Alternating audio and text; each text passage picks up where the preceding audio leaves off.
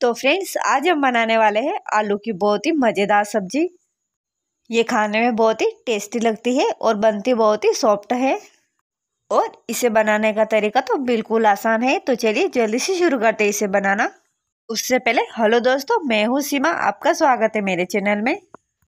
इसे बनाने के लिए मैंने यहाँ पे दो कच्चे आलू लिए हैं, इन्हें अच्छे से काट कर और धो लिया है। और साथ में ली है आधी कटोरी चने की दाल, इसे दो घंटे के लिए भिगो दिया था। अब हम एक मिक्सी जार लेंगे, उसमें आलू के पीस को डाल देंगे और साथ में चने की दाल को भी डाल देंगे और एक हरी मिर्च डालेंगे और इसका एक अच्छा सा पेस्ट बना के तैयार कर लेंगे। पेस्ट हमारा बन के तैयार है, इसे एक बर्तन में निकाल देंगे, आधा चम्मच हल्दी पाउडर डाल देंगे और आधा चम्मच नमक डाल देंगे। इन सबको अच्छे से मिलाने के बाद इसे हम थोड़ी देर साइड में रख देंगे। अब मैंने यहाँ पे ओवन लिया है, इसकी जगह आप कोई सा भी स्टीम करने का बर्तन ले सकते हैं। एक गिलास पानी डालेंगे, प्याज को इस तरह से काट के डालेंगे, पाँच से छः लहसुन की कलियाँ डालेंगे, जिससे हमने प्याज को काटा है, उसी तरह से टमाटर को भी काट के डाल देंगे। दो से तीन साबुत लाल मिर्च डालेंगे, एक तेज पत्ता डालेंगे, एक चम्मच साबुत धनिया डालेंगे और कुछ खड़े मसाले डाल देंगे। एक चम्मच कच्चा जीरा डालेंगे और साथ में एक चम्मच हम काली मिर्च डाल देंगे। ये सभी मसाले डालने के बाद ओवन को हम गैस के ऊपर चढ़ा देंगे। अब हम एक थाली लेंगे, उसे तेल से अच्छे से ग्रीस करके ओवन के अंदर थाली को रख देंगे और हमने जो पेस्ट बनाया है, वो थाली के अंदर चम्मच की सहायता से अच्छे से फैला लेंगे। इसे हमें पाँच से छः मिनट के लिए स्टीम करना है। पाँच मिनट बाद हम यहाँ पे देखते हैं कि अच्छी तरह से स्टीम हो चुका है। इसे हम बाहर निकाल के ठंडा कर लेंगे। और यहाँ पे हमारे मसाले, प्याज, टमाटर ये भी अच्छे से पक चुके हैं। इन्हें हम बाहर निकाल लेंगे। इन सभी को मैंने एक छन्नी में अच्छे से छान लिया था और इस पानी को हमें फेंकना नहीं है, इसे हम ग्रेवी में इस्तेमाल करेंगे। और उन सभी मसालों का इस तरह से पेस्ट बना के तैयार कर लिया है।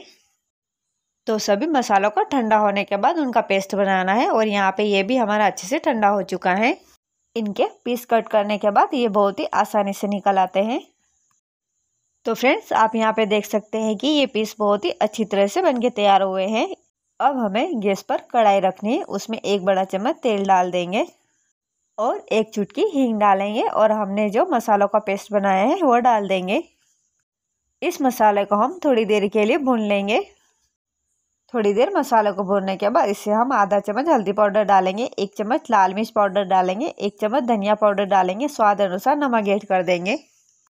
इन सभी मसालों को हम पेस्ट के अंदर अच्छे से मिला लेंगे। अब हमें इन मसालों को तब तक भूनना है जब तक कि ये मसाले तेल नहीं छोड़ देते। मसाला हमारा पक के तैयार हो चुका है। हमने जो छान के पानी निकाला था वो डाल देंगे। ये पानी हम इसलिए डाल रहे हैं क्योंकि हमने सारे मसाले इसी पानी में भुने थे। इन सारे मसालों का फ्लेवर पानी में आ चुका है। इसीलिए हम उसी पानी का यूज़ करेंगे। अब इस ग्रेवी को हम अच्छे से उबाल आने तक पका लेंगे। ग्रेवी के अंदर अच्छे से उबाल आ चुका है। हमने जो पीस कट किए थे, वो डाल देंगे। अब इसे हमें दो से तीन मिनट के लिए अच्छे से पकाना है। जब तक कि ये सब्ज़ी थोड़ी ठीक नहीं हो जाती। तो फ्रेंड्स, अगर आप चाहो तो आलू और चने की दाल के बेटर को आप अलग से भी स्टीम कर सकते हो। लेकिन अगर हम ये सब्ज़ी इस तरह से बनाएँगे तो ये जल्दी से बन के तैयार हो जाती हैं। सब्ज़ी हमारी काफ़ी ठीक हो चुकी है। इसमें हम एक चम्मच ऊपर से कसूरी मेथी डाल देंगे। इससे है, सब्ज़ी का स्वाद है, वो बहुत ही अच्छा आएगा। तो है ना फ्रेंड्स, बहुत ही आसान तरीका ये सब्ज़ी बनाने का। ये सब्ज़ी आपको दिखने में तो अच्छी लग रही होगी, लेकिन ये खाने में भी बहुत ही टेस्टी बन के तैयार हुई है। ये सब्ज़ी हमारी बन के तैयार हो चुकी है। इसी स्टेज पे हम गैस को बंद कर देंगे।